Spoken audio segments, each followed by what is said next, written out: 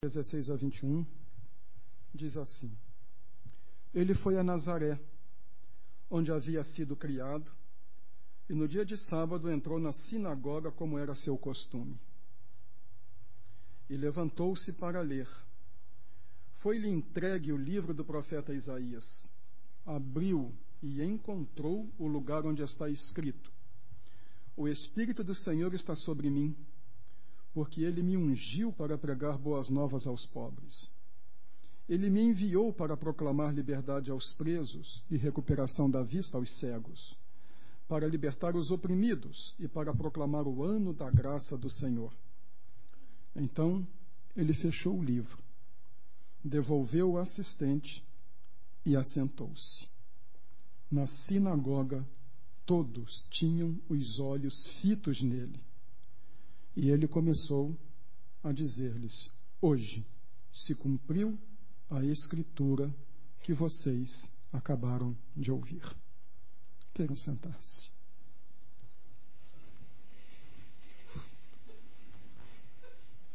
Jesus está se tornando famoso. Os comentários sobre seus milagres e sua pregação começam a correr a Palestina. Então ele vai à cidade onde foi criado e que adotou como sua, Nazaré. Todos querem ouvir o filho mais ilustre da cidade. No sábado, como um bom judeu, ele vai à sinagoga. O texto diz que ele ia costumeiramente.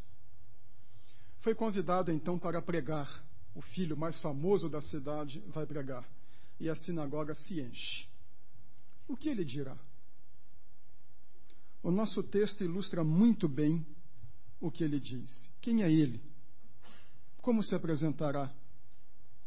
O que se propõe ele a fazer? Que ministério exercerá? Este texto foi colocado aqui por Lucas premeditadamente, porque todo o evangelho de Lucas está preso neste texto. Todo o evangelho de Lucas depois vai desenvolver o que Jesus apresenta aqui. O Evangelho de Lucas, o terceiro Evangelho, parte daqui. Um retrato de Jesus por ele mesmo. Quem ele diz que é e o que ele diz que veio fazer. Analisando este texto que temos diante de nós, eu quero chamar a atenção do meu auditório para dois aspectos. Primeiro, como Jesus se define. Segundo, como Jesus define sua missão. Primeiro, quem ele diz que é e depois o que ele diz que vai fazer.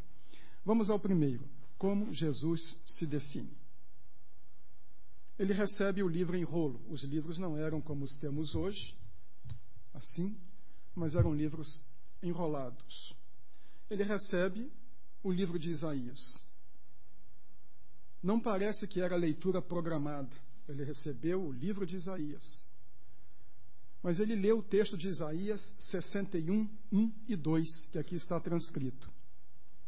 Mas misturou com uma frase de Isaías 58, 6, libertar os oprimidos. Ou seja, ele leu em dois lugares diferentes.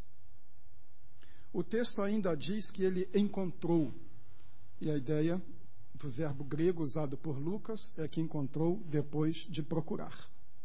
Não é eu chegar aqui e encontrar aqui um convite de casamento. É eu procurar alguma coisa e encontrá-la. Ele procurou os dois textos, combinou os dois textos e depois disse: Hoje se cumpriu esta escritura que acabais de ouvir. Isaías 61, 1 e 2, que é o texto que ele lê, é uma repetição de Isaías 42, 6 e 7. Eu, Senhor, o chamei para a justiça, segurarei firme a sua mão. Eu o guardarei, farei de você um mediador para o povo, uma luz para os gentios, para abrir os olhos aos cegos, para libertar da prisão os cativos, para livrar do calabouço os que habitam na escuridão. O texto está referindo-se a uma pessoa especial quando foi escrito. Estamos mais ou menos no ano 520 antes de Cristo. O povo está no cativeiro. Jerusalém foi destruída. O templo foi incendiado. Muitos foram mortos. E uma multidão incalculável foi levada como escrava. Foram três deportações. Na primeira deportação foram 200.150. Lá está o povo esparramado pela Babilônia como escravo. Um momento de profunda depressão e decepção. Aparece então um pregador. O Espírito do Senhor está sobre mim. Ele me ungiu. Nesta semana, ao examinar o texto hebraico, descobri uma particularidade que não tinha visto. Onde temos ungiu, isso eu já sabia, é o termo Messias. Messias significa ungido. Ungir é o hebraico Mashiach. Mas não está dizendo no texto hebraico, o Senhor me ungiu. O Senhor me messiou. O Senhor messiou eu. Uma construção estranha. Mas a atenção é para o fato de que aquela pessoa que está ali foi ungida, foi separada. Não é uma unção qualquer, mas é uma unção para aquela pessoa. É este o texto que Jesus apresenta e aplica à sua pessoa. Vocês estão me vendo? Todos os olhos fitos nele, todos olhando com atenção, ele diz: O Senhor me separou, o Senhor me ungiu, o Senhor me tornou Cristo. Hoje se cumpriu esta escritura, diz ele. O Senhor me ungiu. O Senhor me ungiu, me tornou Cristo para pregar boas novas aos pobres. Os judeus esperavam um Messias, um ungido, um libertador. Estavam esperando isto já há mais de cinco séculos. O filho mais ilustre da cidade diz: Sou eu. Eu sou o Messias. Fui eu que fui separado. O impacto foi enorme. Tanto que esta versão que tenho diz assim: Na sinagoga todos tinham os olhos fitos nele. A linguagem de hoje traduziu assim: olhavam para ele sem desviar os olhos. A ideia do texto grego é que a atenção era tão grande que o povo não piscava os olhos. O Messias chegou. Um novo tempo chegou. Não foi uma leitura acidental. Procurou os textos, como eu disse, combinou-os e aplicou à sua pessoa. Ele se viu neste texto. Mas o que ele quer dizer com isto? É como se dissesse: vocês lembram quando nossos ancestrais estavam escravos na Babilônia? Vocês lembram quando estavam sem liberdade, sem acesso, sem possibilidade de realizar o seu próprio culto, sem paz, sem alegria, deprimido, escravo? Vocês lembram como apareceu um pregador dizendo que vinha um libertador e aquele libertador mandaria o povo de volta para casa? Assim são vocês hoje. Vocês estão sem alegria, sem paz, sem liberdade, sem comunhão com Deus. Vocês estão esperando o Messias. O Messias sou eu. Eu cheguei. Vocês lembram de nossos antepassados que recuperaram alegria por causa de um ato de Deus que entrou na história, invadiu a vida deles e mudou a vida deles? Olhem para mim. Deus está entrando de novo na história na minha pessoa. Deus está fazendo uma grande obra. Deus me enviou. Eu vi para trazer a liberdade para vocês. É um contexto de libertação. Jesus se define como o Messias esperado. Não foi um golpista político que tentou dar um golpe de Estado e não deu certo. Lucas deixa bem claro, ele vai lá em Isaías, pega um texto em que o povo precisa de um libertador para devolver-lhe a sua terra e as promessas de Deus, e se apresenta assim ele traz uma época nova para a humanidade. No relato de Lucas, Deus Pai já dissera isto, Lucas 3, 21 e 22. Quando todo o povo estava sendo batizado, também Jesus o foi. E quando ele estava orando, o céu se abriu. E o Espírito Santo desceu sobre ele em forma corpórea como pomba. Então veio do céu uma voz: Tu és o meu filho amado, em ti me agrado. Agora ele vem e corrobora isto. Ele chega em sua cidade e diz: Eu sou o Messias. Como Jesus se define? Como Salvador prometido nas Escrituras, como libertador espiritual de que a humanidade precisava, como alguém a quem Deus separar especificamente para uma missão. E esta missão ele vai definir agora. Como Jesus define sua missão.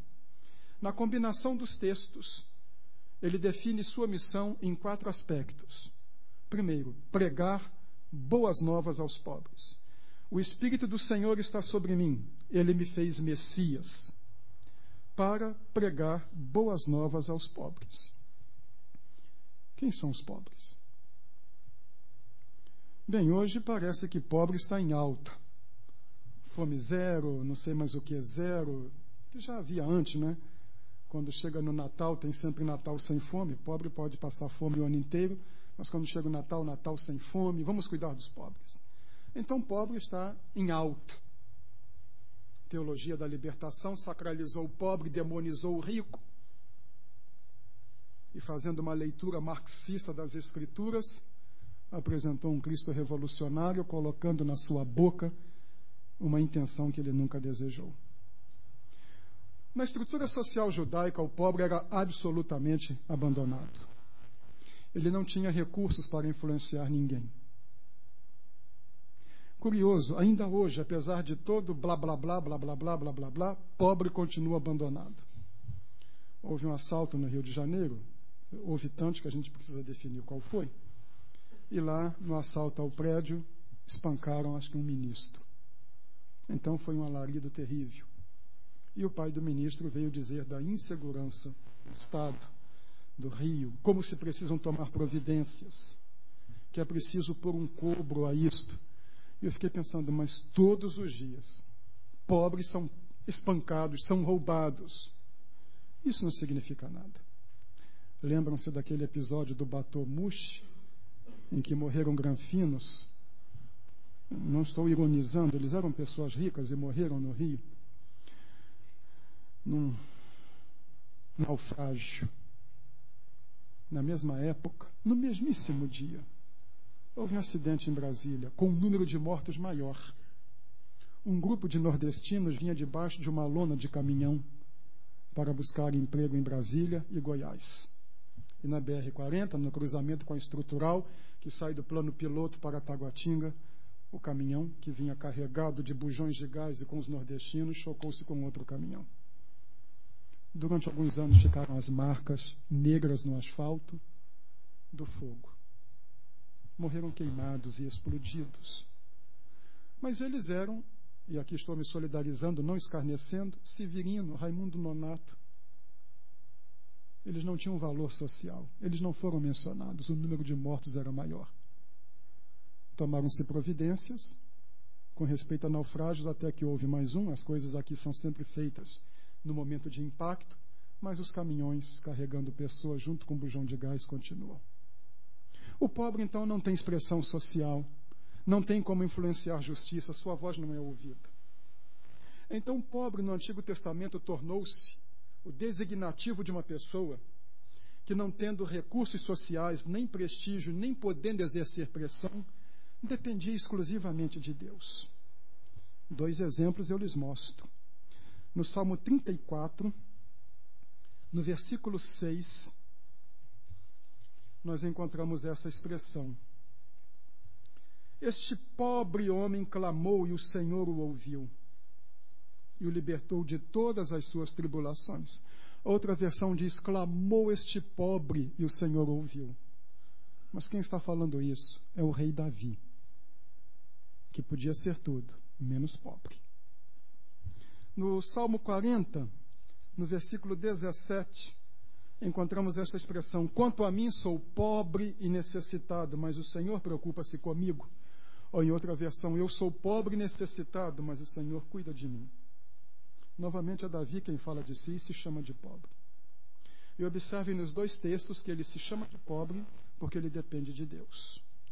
Pobre tornou-se, no Antigo Testamento, o que o justo o justificado significa no Novo Testamento o dependente de Deus, o que não confia no seu mérito, na sua representatividade, nos seus bens, nos seus títulos, mas que depende de Deus. Pobre tornou-se um título aplicado àquele que se entregava a Deus.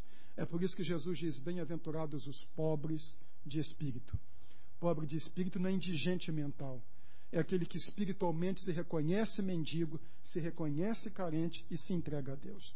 Esta é a primeira missão de Jesus. Ele não veio para arrogante, não veio para autossuficiente, não veio para quem acha que tem tudo, é senhor da razão e da verdade.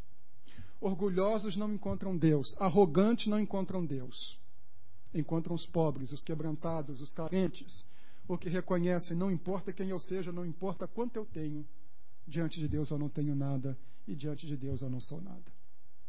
O Espírito do Senhor está sobre mim.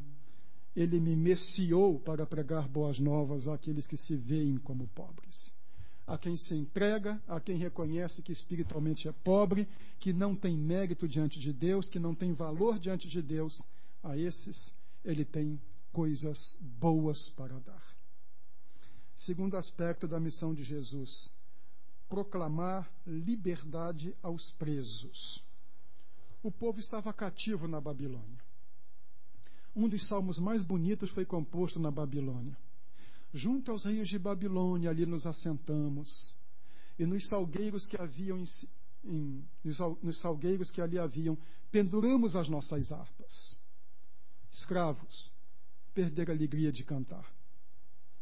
Na cultura antiga, o escravo não tinha valor, era coisa. No direito romano, o direito mais avançado da época, ele era tido como res, coisa. Seu senhor podia dispor dele como dispõe de um, dispunha de um objeto. Mas imaginem no direito caudaico. Matava-se um escravo por nada. O sonho deles era voltar para casa. E tanto que neste salmo eles dizem: Se eu me esquecer de ti, Jerusalém, que a minha língua se me pegue ao paladar, que meu braço direito seque. Era o grande sonho voltar para casa. Recuperar a sua libertação. Ao mesmo tempo que isso acontecia, por toda a escritura, Babilônia é um símbolo do mal. Babilônia é derivação de Babel, o símbolo da oposição organizada e constituída contra Deus. Curiosamente, Babel no hebraico significa confusão, desordem. É o homem em desordem contra Deus. Ali o povo precisava sair da escravidão, sair de uma terra estranha e voltar para aquilo que Deus lhe dera. Jesus está dizendo: vocês querem um libertador espiritual? Sou eu. Poderiam dizer: nós não somos escravos, como eles disseram. Nós não somos escravos. E Jesus disse: vocês são. E em João 8,34 ele diz assim: todo aquele que comete pecado é escravo do pecado. Vocês são escravos do pecado. E em João 8,36 ele diz: se o Filho vos libertar, sereis verdadeiramente livres. É isso que ele está dizendo. Vocês querem liberdade? Eu tenho para dar. Mas que liberdade? A liberdade espiritual. Ser livre do poder do mal. Ser livre das penas eternas. Ter a ação do maligno na sua, quebrada na sua vida. Poder encontrar forças para libertar-se do vício, da escravidão e de toda a maldade. Esta é a obra de Jesus Cristo, tornar o homem livre. Paulo disse isso: para a liberdade Cristo vos libertou. É em Cristo que a pessoa encontra esta libertação. Ela descobre um poder inexplicável. Ela sabe que Deus a ama, que o Espírito de Deus veio morar nela, que Cristo a transforma, que ela tem valor. Então a vida muda. E com isto, ela consegue a superação. No meu tempo de seminarista, quando estava no terceiro ano, fui trabalhar com um grupo que lidava muito com jovens viciados em drogas. Naquela época, a droga da época era o LSD, no Rio de Janeiro. E me recordo de quantos e quantos frutos que foram conseguidos. Onde havia falhado, não vai nenhuma crítica, mas onde havia falhado, falhado a psicoterapia, onde havia falhado um tratamento medicamentoso, onde havia falhado outro tipo de assistência, o poder de Cristo havia chegado e transformado aquela vida. Você me dirá, eu não sou nenhum drogado. Não. Mas se você não é o senhor da sua própria vida, dos seus atos, dos seus pensamentos, você é escravo. Se você não tem certeza de uma vida eterna com Cristo na eternidade, você é também um escravo. Porque você não é o senhor do seu próprio destino. O Espírito do Senhor me tornou o Messias para pregar boas novas, coisas boas, àqueles que se veem como carentes. Me enviou para proclamar liberdade aos presos e recuperação da vista aos cegos. Mas por que essa questão de vista aos cegos? Porque o homem sem Cristo e sem Deus tem os olhos fechados para a glória de Deus. Em João 9:39, depois de curar um cego de nascença, Jesus diz assim: Eu vim a este mundo para julgamento, a fim de que os cegos vejam e os que veem se tornem cegos. Ele curou os cegos, tudo bem, mas ele nunca cegou alguém. O que Jesus quer dizer com os cegos vejam e os que veem se tornem cegos? É que muita gente acha que vê demais, sabe tudo, tem boa visão, vê longe, conhece todas as coisas. E aí está impedido também de ver a glória de Deus. O Messias era visto na teologia judaica como alguém que restauraria a nação e cuidaria desta massa de pessoas que a sociedade desprezava. Aos cegos restava a mendicância. E mendigo é sempre alguém que recebe sobra quando não é evitado. É a estas pessoas sem valor que ele veio. Isto é fantástico na pessoa de Cristo. Muitos de nós pensamos que para Deus se agradar de nós, nós precisamos fazer obras boas, ser muito religiosos, dar esmolas, praticar o bem. Mas Jesus diz o contrário. Eu não estou procurando gente boa, estou procurando a ralé. Você se vê como alguém carente, é com você que eu quero falar. Você se julga espiritualmente pobre se vê como mendigo, é com você que eu quero falar. Você se sente preso, dominado, escravizado, não se sinta envergonhado, é com você que eu quero falar. Você se sente cego, não entende nada, não conhece nada. Eu vim para abrir os seus olhos, como o quarteto cantou. Abre meus olhos para ver. Esta é a missão de Cristo. Melhor exemplo disto é Paulo de Tarso. Ele via muito bem. Ele era um teólogo, doutor da lei, conhecia as Escrituras. Homem que articulava muito bem as suas ideias. O ministério de Paulo, como cristão, mostra que foi uma das mentes mais brilhantes do mundo. Nós o vemos no livro de Atos, pregando em três idiomas diferentes, e o vemos encaminhando-se para dois outros lugares onde se falavam dois outros idiomas que não os três em que ele aparece pregando. É lícito presumir que Paulo então dominava cinco idiomas. Ele chega na culta Atenas, vai para o templo do saber, Areópago, faz um discurso, apresenta Cristo no meio dos filósofos, converte-se o administrador do Areópago. Ele vai para Roma. Ele é o único dos cristãos que tem cultura para chegar na capital do mundo e plantar o evangelho. Lá vai Paulo. Mas ele via bem. Achava que via bem. No meio do caminho, vai ele para perseguir cristãos. O Senhor Jesus lhe aparece. E ele se torna cego. O arrogante Paulo, o culto Paulo, não vê mais. É guiado pela mão. E agora vem um cristão, um cristão, o grupo que ele perseguia, e vai orar por ele. Ele diz assim: Irmão Saulo, o Senhor Jesus que te apareceu no caminho de Damasco me enviou para que recuperes a vista. Ananias põe as mãos sobre Paulo, ora, as escamas caem dos seus olhos. Agora não é mais o fariseu arrogante que via, agora é o cristão Paulo que vai direcionar toda a sua vida em Cristo. Há gente que enxerga muito bem, mas tem escamas nos olhos. E vê tão bem que não consegue ver a glória de Deus, a graça de Cristo e o que a sua vida pode vir a ser. É essas pessoas que não veem, que estão confusas, que estão no escuro, que ele veio para dar a vista.